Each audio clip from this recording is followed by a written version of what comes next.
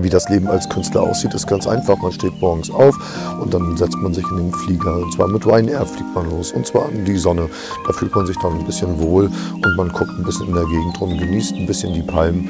Ja, und zwischendurch hält man sich fit und fährt Fahrrad. Oder man malt ein Bild, so wie das. Oder man sticht ein Tattoo, so wie das. Oder das. Oder man geht einfach los und malt Graffitis an die Wand. Manchmal schlafe ich auch einfach am Strand, damit ich mir morgens den Sonnenaufgang anschauen kann. Ich kann euch nur so viel sagen, Luxus ist gar nichts, Freiheit ist alles.